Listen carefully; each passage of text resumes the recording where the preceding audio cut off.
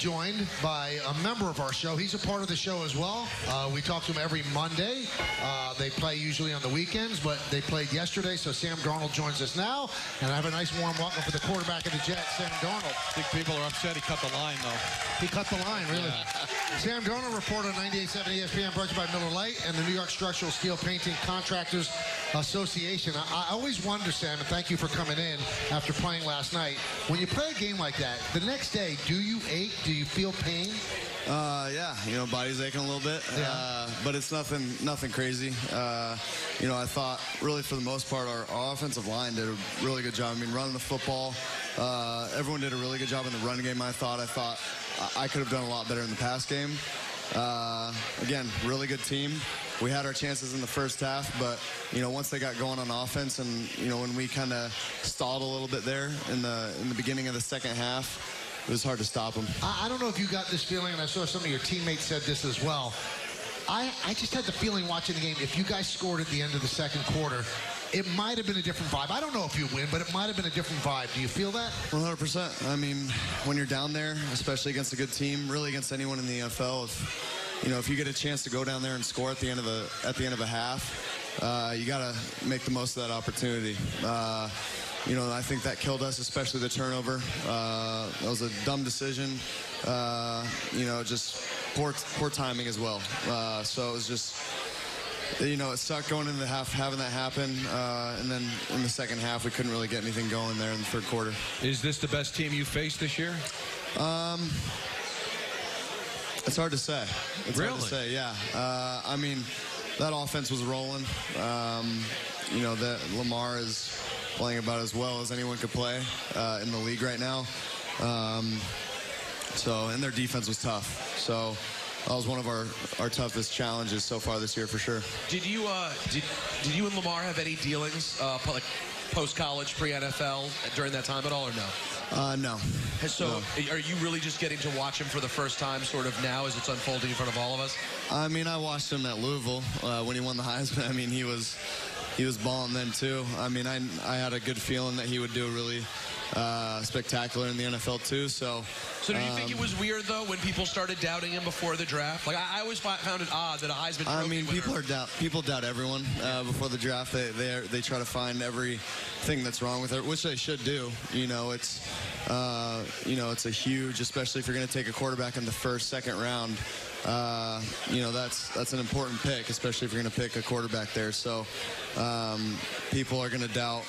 Anytime you pick a quarterback in the first round, they're going to doubt that person. But um, all things considered, I think he's doing a great job handling it, and he's been balling. You know, I wanted to ask you this because I asked you about how your body felt. And you said, you know, you're a little achy. That's that's the game. Can he continue to play like that and run and get hit at more than most quarterbacks and survive? We'll see. I think you know Vick did it.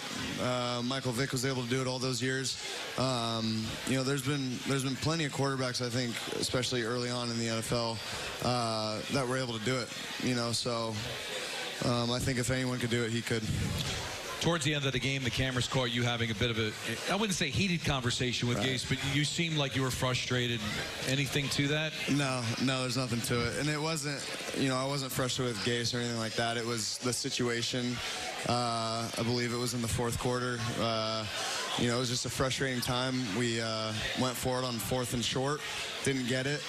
Um, so it was just kind of talking about the play, and um, it wasn't me, you know, complaining to Gase about anything or anything like that. It was just both of us being frustrated. Now, if you watch the video, I, I don't know if you're really going to take us into the conversation, but the backup quarterback, I think, was standing to the right. You had your helmet on. You said something to Gase, and the look on what was Fales's face? David Fales. Yeah, yes. he was like.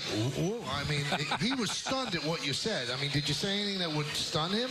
No, no. Have you uh, seen what the video I'm talking about? Yeah, yeah, I've seen it. I have to look this up now because I have not seen this. Um, yeah, I said it earlier in an interview, but you know, David's he's you know he makes that face every now and then for no reason, but uh, and he he gave you know uh, Dave is an awesome guy, awesome person, uh, but there was you know, it was a conversation, uh, and it wasn't heated. I think we were both just frustrated at what was going on, and uh, that was really it. There was nothing really to it. Do you have a relationship that if you were frustrated or you disagreed with something that you could have that conversation? Absolutely. It sure Absolutely. seems. I'm watching the video. It seems that way. Yeah, you, no, you I- look like people who know each other are a little pissed off in the moment. Yeah, like a normal you know, I think uh, there's definitely better ways. You know, if, if we are going to hash it out, which that wasn't even the case at that moment, but you know, if we are going to hash it out, it's not going to be on the field. We both know better than that. Uh, but I think during that situation, during that span of the game, when things were kind of getting out of control there, late in the fourth quarter.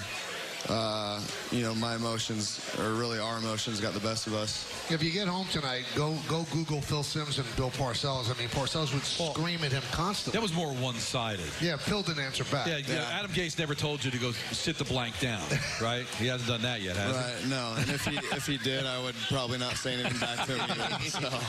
Has has I mean, I, I don't want to be dramatic, but has this been everything that could go wrong this season has gone wrong?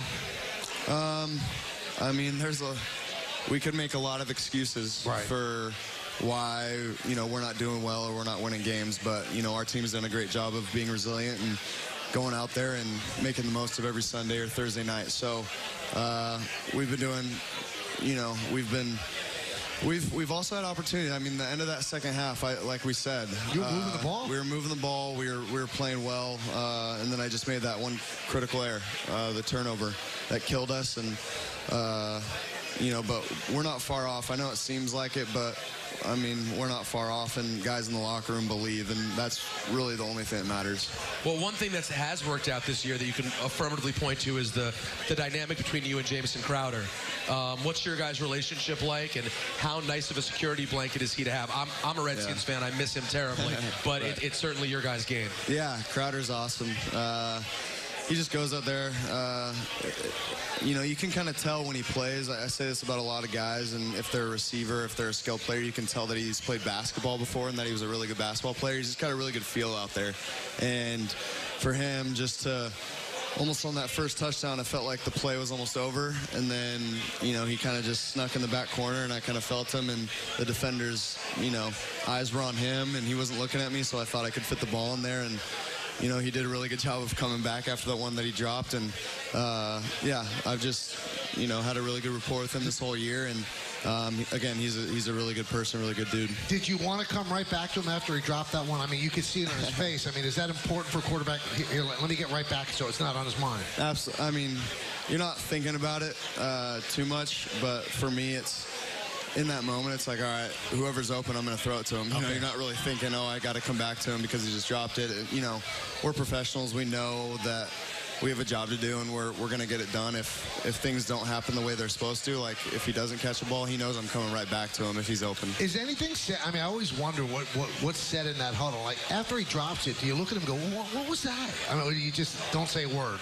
No, I mean, I kind of, you know, me and Crowder have a good relationship. I kind of smiled at him like, come on, bro, you serious? Especially after after he caught the touchdown afterwards. Right. That's when I was like, could have made it a lot easier for you just the first time. So. uh, Sam, I know you're not an excuse maker, but the numbers don't lie. Road teams on Thursday, especially if they're like a two touchdown dog, it, it, it's impossible. It, it really is. I mean, how how unfair is it to play these Thursday games, especially short turnaround against great teams? I mean, everybody has to do it, but for somebody that's used to playing once a week, Sure. how tough is it to just turn around on a Sunday and then play that next Thursday? It's tough, but I mean, every single game you play in the NFL is tough. Uh, you know, it's going from Sunday to Thursday. You have to cram it in. You have to cram your schedules in, just like the home team does. You know, the only difference is us traveling, uh, which wasn't bad. You know, it was only a two and a half, three hour train ride that we took to Baltimore. So, I mean, it's not. It wasn't bad, and you know, there's. I don't think there's really anything to it. It might be coincidence. I think if now if teams have to go cross country, I think that's a different scenario. But uh, for us, it, it wasn't an excuse at all. We're talking with Jet quarterback Sam Darnold. We'll take a brief timeout. We'll come on back. We'll finish it up until 6 o'clock with Sam. But Sam, nice enough to come into Buffalo Wild Wings. Fans are thrilled to see him. A lot of Sam Darnold jerseys there. And we'll be back in just a moment right here on Yes and 98.7 ESPN. The show, everybody. We're in the middle of the Sam Darnold Report brought to you by Miller Lite, the original light beer brewed for more taste and only 96 calories. Miller Lite, hold true. and the New York Structural Steel Painting Contractors Association. To learn more about the New York Structural Steel Painting Contractors Association, check out net. And we are joined here at buffalo wild wings in the flesh by jets quarterback sam darnold. And, and, and, don i want to tell you what kind of friend you have in peter. So during the break you walk you're meeting fans and peter shows sam the picture of your unrequited high five do you have any questions? We ask you a lot of questions every week. You want to ask Don anything about what happened there? Yeah. What do you? Uh, what were you thinking on that? I wanted to give her a high five. She's a nice woman, but she didn't see. So you what gotta should wait I do? For the, you got to wait for the eye contact. Yeah, I couldn't agree more. And how do you not bail on it? You got to know when to throw the ball away. Am I right, Sam? yeah, we yeah, say it to you. Yeah. You just well, I'm learning. Ah, it's not. You got to get it. You just kept going to the face. Well, I was hoping I'd get attention. That you would see it. Eye yeah. contact had already sailed. So now what do I what I got to adjust? You should have yeah. just mushed her face. I Sometimes it it's just yeah, but the hand in front of her face was intrusive. It's okay. Well, I, I, bounced back with Alex Lee. Okay, great. So I'm, I'm you know completing 50% of my pass. it's not NFL worthy, but you know, some some backup quarterbacks with less have made more. Yeah, absolutely. So, um, That's a good point. I read something in the paper today. Uh, after the specific amount of games that you've played, paired up against what Joe Namath did. I don't know if you saw this. Your numbers are better than Joe Namath's. Touchdowns, interceptions, completion percentage. I mean, does the specter of Joe Namath hang over this whole team, especially a quarterback? No, I mean, it's a little bit. Football's a little bit different nowadays, yeah. too. I mean, we're throwing the ball a little bit more, but uh, Joe's Joe, man. I mean, his. I mean, he is just such a legend for us, uh, just at the Jets. I mean, we haven't won a Super Bowl since he was here, and he's just kind of that. I mean, you know, he won number one uh, most characteristic guy in the NFL. Mm-hmm. You know, NFL claimed him that guy. So he's just an awesome guy. Whenever he comes around, he comes around every now and then too. He's he's a great dude to be around. Do you have a substantive uh, conversation with him ever? Absolutely. And does he talk quarterbacking? Does he talk broader yeah. scope? Yeah, I mean he talks everything. He talks uh, he talks everything from when he was on the streets, you know, Broadway Joe, mm-hmm. uh, and then when he was out on the field.